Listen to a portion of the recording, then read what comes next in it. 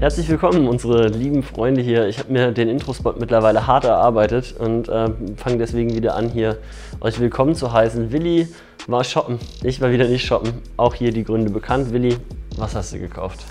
Ja, im heutigen Video geht es um die neue Peso Clothing Kollektion Heads or Tails vom guten Justin und ähm, ich habe mir vorab ein paar Teile kaufen können, ähm, die mir am besten gefallen haben und zwar sind es drei Hosen, drei Shirts, ähm, eine Zipjacke, ähm, das Bracelet und äh, die Socken.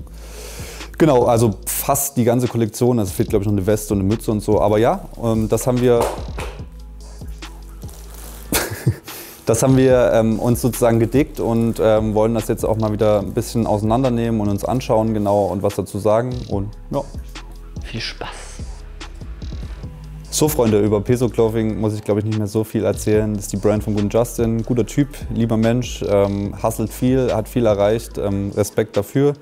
Äh, ist jetzt mittlerweile der 13. Drop, glaube ich und ähm, wie ihr seht, hat der Mann schon auch viel gemacht und ähm, das Ganze natürlich irgendwie auch immer in Zusammenarbeit mit dem Lolo von Live Faster Young, ähm, wo dann auch der Vertrieb drüber läuft und ähm, die Kollektionen sind ja permanent eigentlich irgendwie so nach fünf Minuten sold out und es war natürlich auch bei dieser Kollektion, bei der Heads or Tails, äh, wieder so. Äh, und da gab es auch diesmal ein Statement von Justin, äh, weil es wohl so war, dass die Bot Protection schon ziemlich stark war und dadurch halt auch viele Bestellungen sozusagen ähm, nicht durchgegangen sind von eben Bots, aber eben auch von normalen Leuten, die größere Bestellungen gemacht haben, die äh, Bestellungen gecancelt wurden eben weil das System dachte, dass es Bots wären, ähm, was ja an und für sich grundsätzlich erstmal, wie gesagt, gut ist, dass das ganze System funktioniert, aber natürlich dann halt ein paar Leute drunter leiden mussten.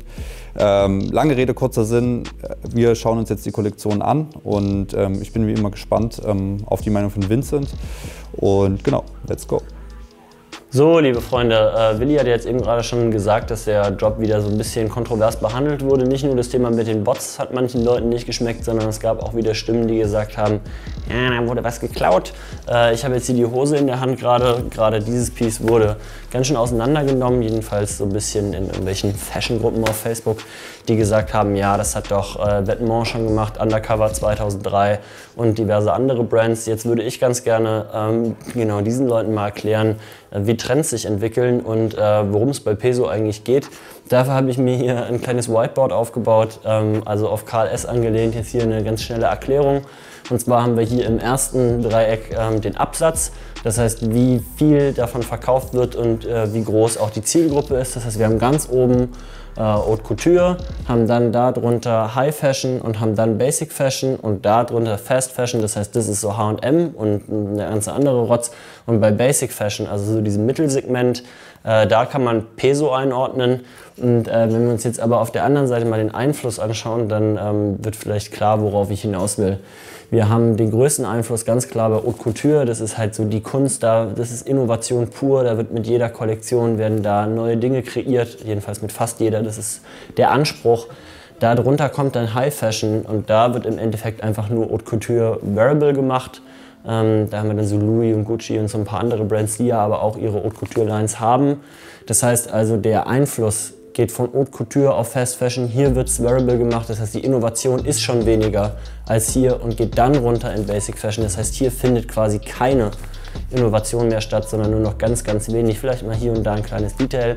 Merkt man ja dann auch. Hier bei Basic Fashion geht es im Endeffekt wirklich einfach nur darum, was ist in, was sind die Trends und das wird dann umgesetzt.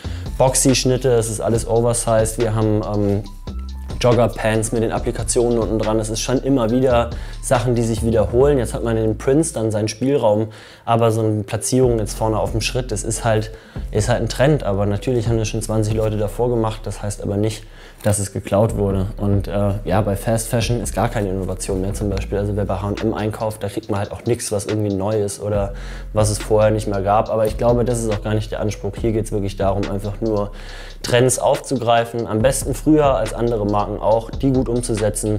Und dann hast du am Ende Peso. So, kommen wir jetzt zum tatsächlichen Teil des Videos, wo es auch in unsere Bewertung reingeht. Wir haben hier wieder unsere altbewährten Kriterien, das heißt Qualität, ähm, Innovation und Style und Preis-Leistung. Wir haben uns das folgendermaßen aufgeteilt. Ich habe die T-Shirts und äh, hier die Jacke und äh, Willi hat alle Hosen und so ein bisschen die Accessoires vielleicht noch. Vielleicht gehen wir da aber auch im Detail drauf ein. Ich würde jetzt hier mal mit der Qualität starten. Bei den T-Shirts bin ich eigentlich wirklich ganz zufrieden. Es ist ähm, ein schöner, dicker Stoff, ähm, fühlt sich ordentlich an, ist relativ weich. Die Prints sind tatsächlich die besten, die ich bis jetzt gesehen habe von äh, den ganzen äh, Sachen, die wir, die wir hier so her hatten. Also es ist einfach schön zu sehen, dass hier auch kein Foliendruck oder irgendwie so Spirenzchen ausprobiert werden. Dann gibt es hier unten noch so ein kleines Detail, ähm, nochmal so ein Metallding, was hier angenäht ist, was auch ganz stabil ist, kann man sich auf jeden Fall ähm, nicht beschweren. Bei der Jacke genau dasselbe, schön verarbeitet, angenehmer Print, ähm, softe und gute Qualität. Also muss ich tatsächlich diesmal sagen, für eine Streetwear-Brand wirklich, äh, wirklich gut, innen auch ähm, schön angeraut.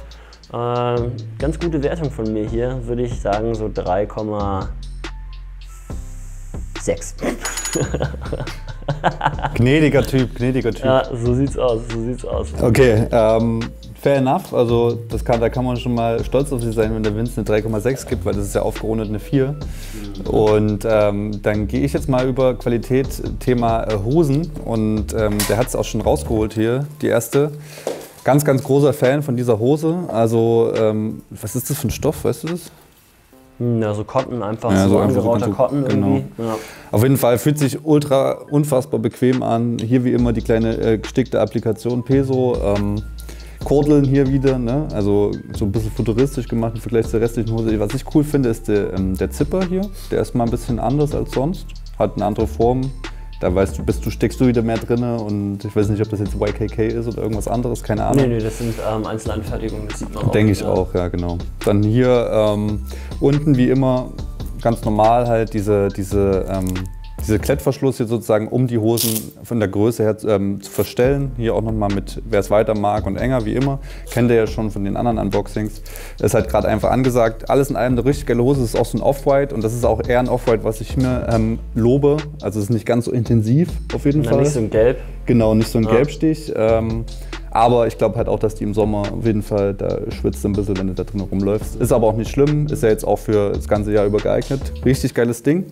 Und genau, kurz noch zur Jeans, weil da möchte ich noch was dazu sagen. Äh, ich persönlich bin Fan davon. Ich mag äh, diese, diese, diesen, diesen Druck hier vorne drauf. Und ähm, auch die Qualität und Verarbeitung der Jeans ist für mich absolut in Ordnung und super. Ich mag auch diese äh, gelben Nähte hier oben. Das ähm, ist nochmal so ein Stich nochmal ganz schön heraus. Dann hier auch den Knopf nochmal mit Peso eingraviert. Ähm, hier hinten auch nochmal so ein, so ein, wie nennt man die Dinge? So ein Aztec. Aztec, genau. Aztec. Aztec.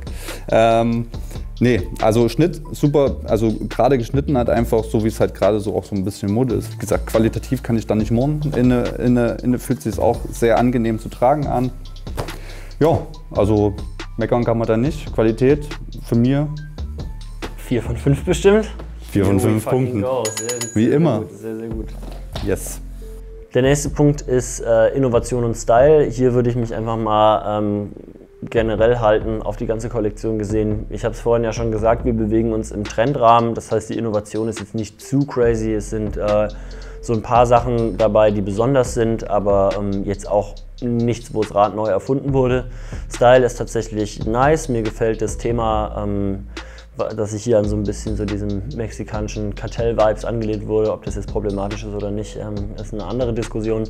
Äh, gefällt mir aber alles in allem ganz gut kann man, kann man, sich, nicht, kann man sich nicht beklagen. Ich finde es eine schöne ähm, Bandbreite an Produkten, äh, verschiedene Hosen, die äh, Weste, die da noch drin war, die Accessoires, Socken, T-Shirts. Ähm, finde ich ist auf jeden Fall für, für alle was dabei. Würde ich an der Stelle sagen, ähm, 3,3 von 5 Punkten. Okay. Ja, also ähm, kann ich mich, ähm, habe ich ähnliche Meinung wie, wie Vince. Bei mir ist es halt so, ich, ich sage halt, ähm, für mich ist das halt Zahn der Zeit getroffen auch. Eine richtig stabile Kollektion. Ähm, die Ideen sicherlich ja. Also gab es irgendwo hier und da schon mal so, aber trotzdem trifft es halt einfach gerade ähm, den Zahn der Zeit sehr gut.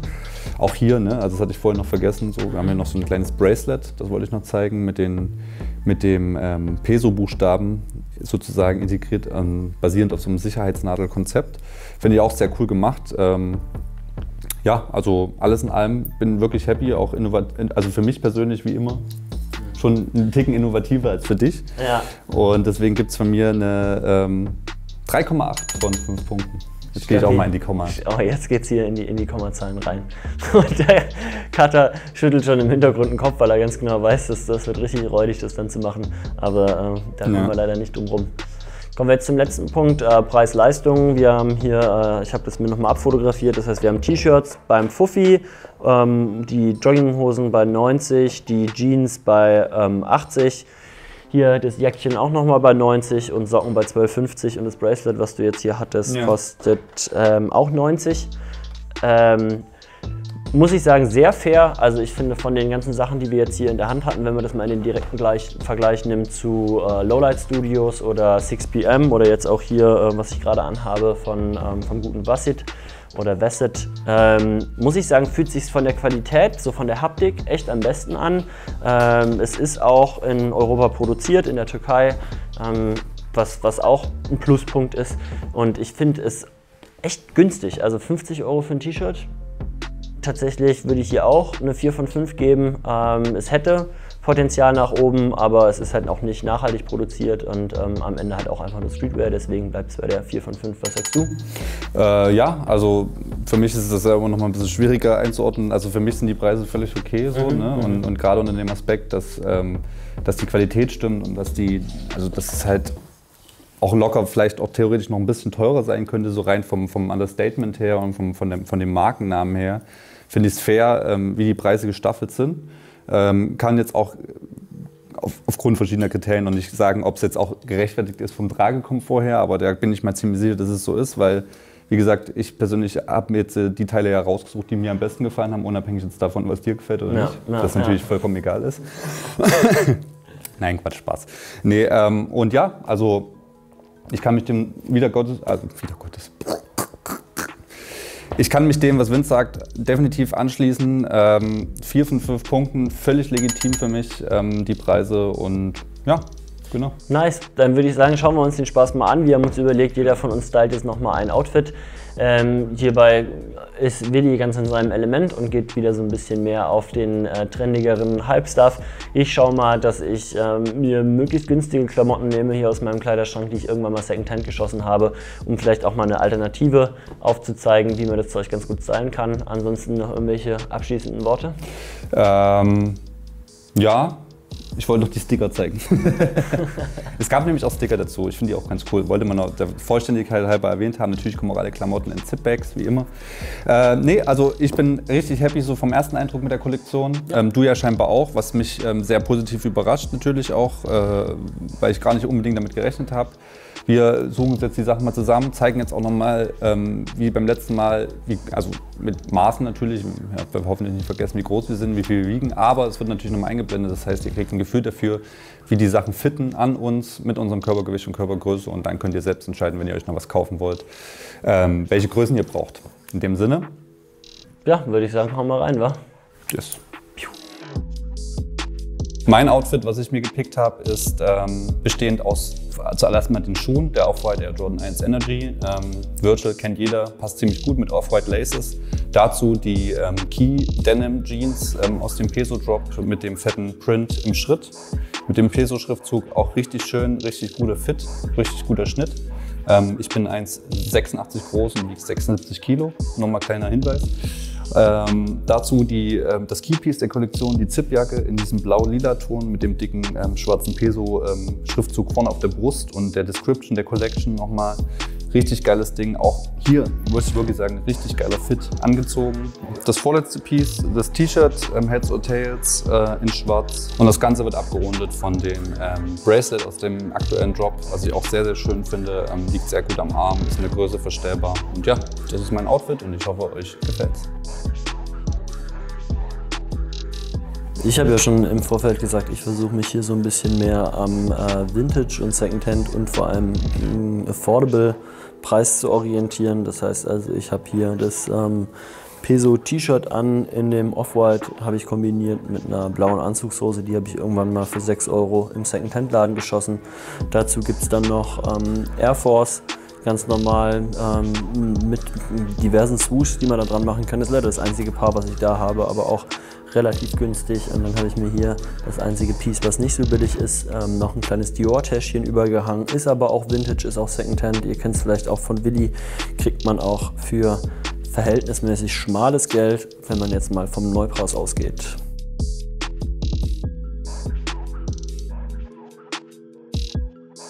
So, meine lieben Freunde, Willi hat sich schon verdrückt, der ist zum Sport gegangen, hat mich hier alleine sitzen lassen. Ähm, ich wollte aber noch mal ganz kurz hier ein abschließendes Fazit geben. Ich denke, dass der größte Vor- und Nachteil ähm, bei Justin auf jeden Fall oder bei Peso Clothing ist, dass Justin dahinter steht. Das ist der Grund, warum sich das Zeug so gut verkauft. Aber auch der Grund, warum es immer so einen kleinen Beigeschmack hat. Es ist halt sehr gebunden an die Person Justin, was dem Ganzen auch immer so einen kleinen Merch-Charakter gibt, was aber der Qualität absolut nicht gerecht wird. Ähm, die Qualität spricht für sich, die Klamotten Klamotten sprechen für sich.